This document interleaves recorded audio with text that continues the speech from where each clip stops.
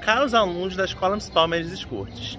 Eu, professor Diogo Neves, regente da Sala de Leitura Cazuza, estou aqui no centro da cidade para apresentar para vocês, no Museu da Manhã, uma exposição chamada Fruturos. Se você acompanha as minhas videoaulas, você vai ver que essa é a quarta videoaula que eu gravo aqui no Museu da Manhã.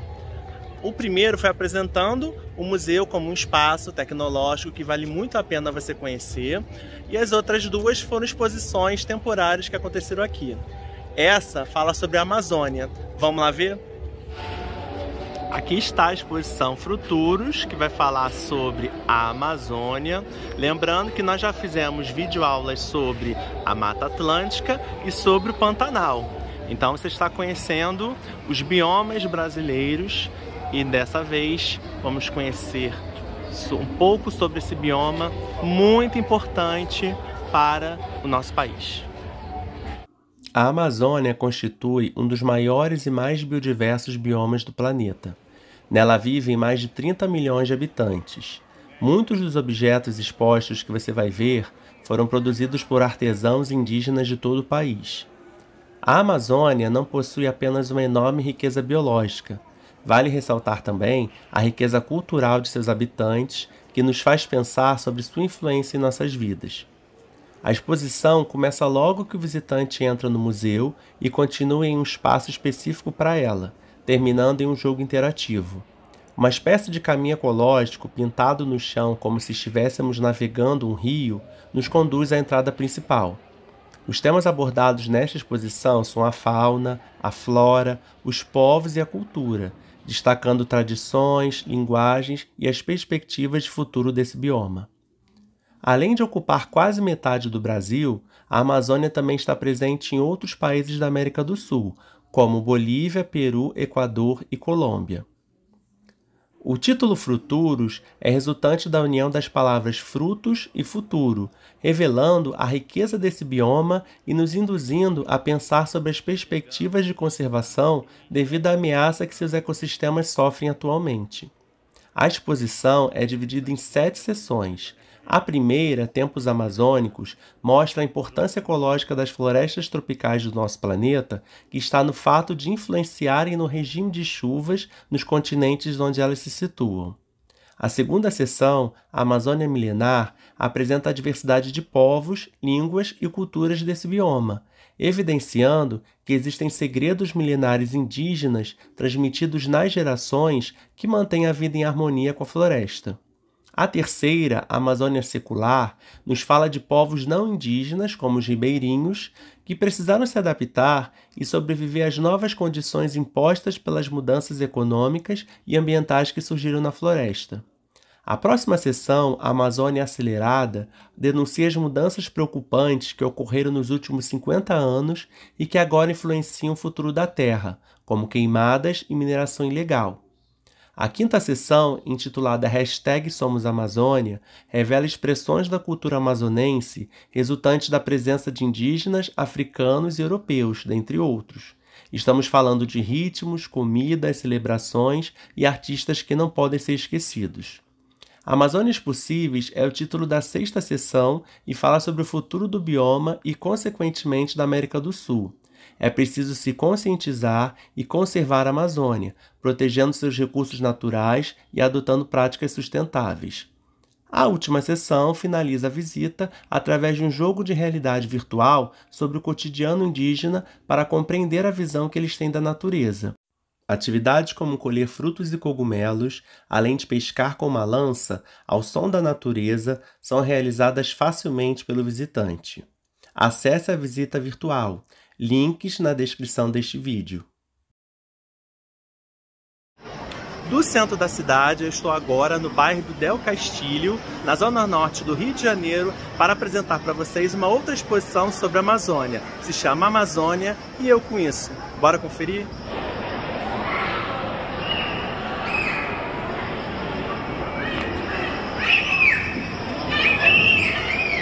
Olha só a extensão da floresta amazônica no mapa do Brasil. Olha só que interessante, quem descobriu a Amazônia? Antes de Pedro Álvares Cabral aparecer aqui, né, na América, Os imigrantes asiáticos já haviam chegado no Vale do Amazonas há mais de 14 mil anos. Com o passar do tempo, formaram-se diversas sociedades indígenas que já viviam na Amazônia há cerca de 2 mil anos, quando os europeus chegaram ao continente. Por isso são chamados de povos originários. Então, o Brasil não foi descoberto pelos portugueses. Quem mora na floresta amazônica? No século XV, quando os europeus chegaram aqui, havia mais de mil povos, entre 2 e 4 milhões de pessoas vivendo aqui, na floresta amazônica. Hoje em dia, mil caiu para 250 povos. E, a, e são mais 150 línguas diferentes que se fala lá na Amazônia. Legal de você estar numa exposição dessa é que você tem alto-falantes aqui que saem sons que parecem como se você estivesse dentro da floresta. É uma forma de exposição imersiva.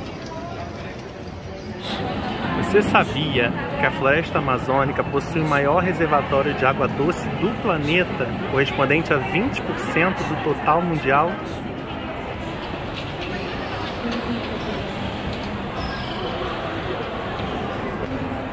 Olha só que dado triste, um ponto de não retorno. Alguns estudos estão mostrando que uma perda de 20 a 25% da floresta levaria justamente esse ponto, chamado de não retorno. Que a partir desse nível a floresta não conseguiria crescer novamente. E a perda causada pelo desmatamento, né, ou pelas queimadas, se tornaria irreversível. Isso é um problema muito sério que a gente precisa resolver. Mas não são apenas o desmatamento e as queimadas que afetam negativamente a floresta amazônica. Existem também a extração ilegal de madeira, é, invasões a terras indígenas e áreas de proteção ambiental. Também precisamos resolver esses problemas. O som que emitia do alto-falante ali na primeira sessão da exposição tinha a ver com sons da natureza, sons que a gente escuta na floresta. Agora aqui nessa parte que fala justamente da destruição, a gente escuta sons de queimadas, ou seja, a destruição da floresta amazônica.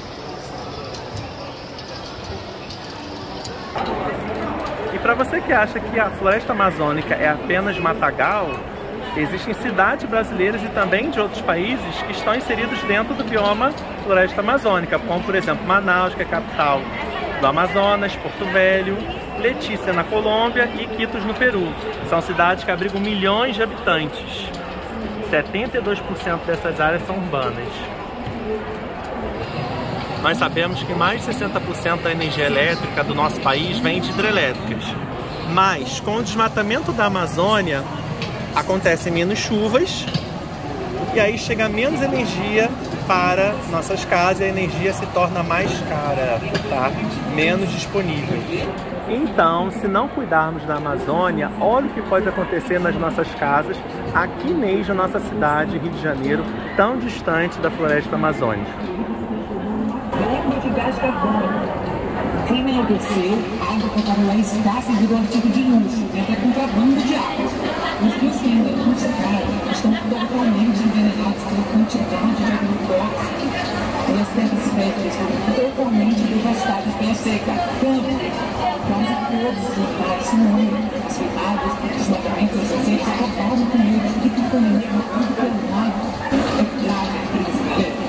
Grave desmatamento da Amazônia afeta o regime de chuvas. Com isso, a agricultura é impactada e a nossa geladeira também. Vamos ver como? Olha aqui essa cozinha. Você vai lavar a mão, vai lavar um alimento para cozinhar. O que, que acontece? Não tem água aqui não. Estou aqui só de enfeite. Não funciona.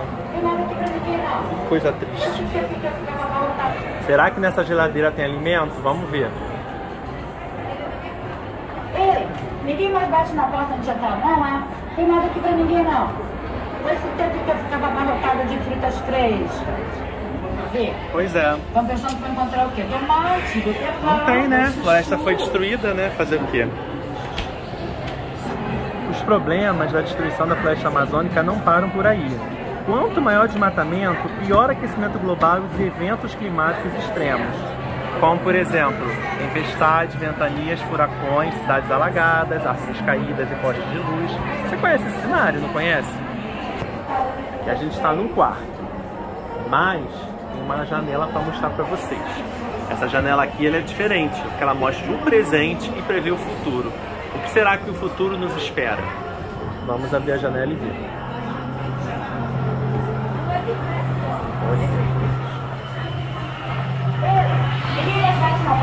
Olha a destruição. Tudo que foi falado agora, né? Olha a cidade.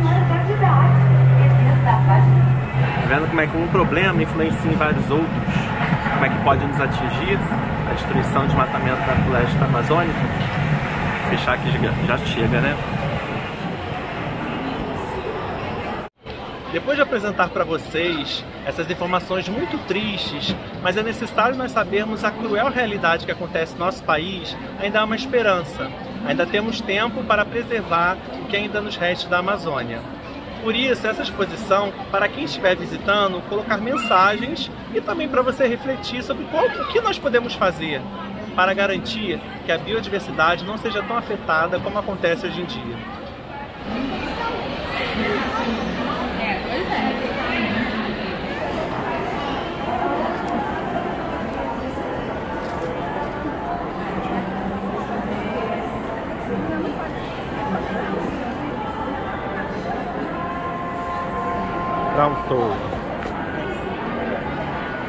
E aqui eu termino mais uma videoaula e eu espero, sinceramente, que este vídeo tenha te sensibilizado e feito você refletir sobre os problemas que afetam a nossa nação, mas que na verdade tem uma grande influência em todo o mundo.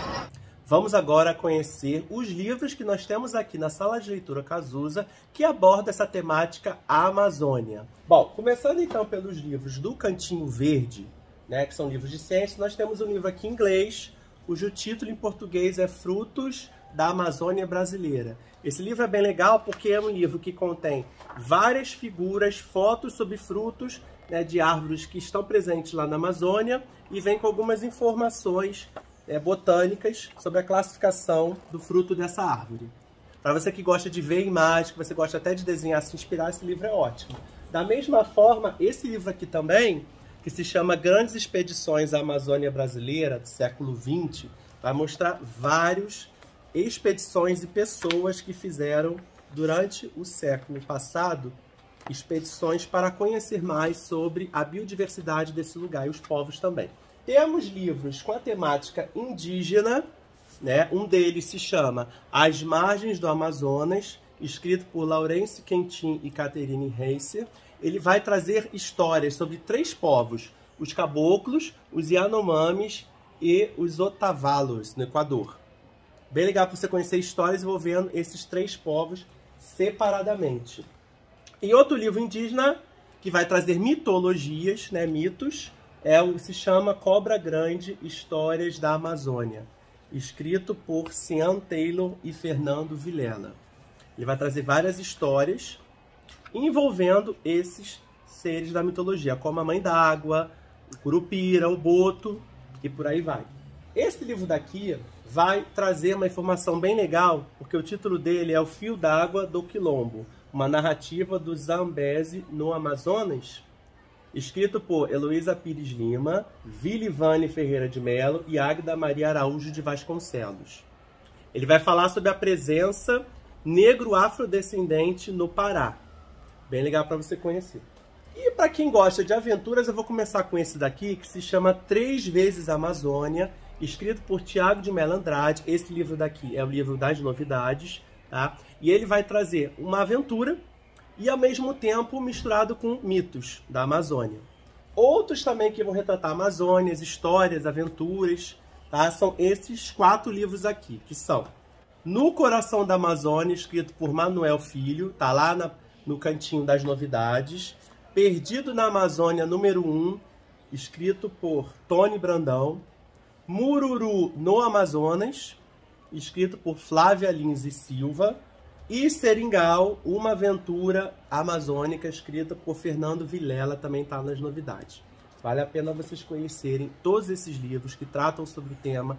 É bom para você conhecer um pouco mais sobre a diversidade, como foi apresentado já no vídeo, de culturas e também a diversidade de seres vivos. Então aguardo vocês aqui e virem pegar esses livros. Fico por aqui. Até a próxima. Nos vemos em breve. Tchau, tchau.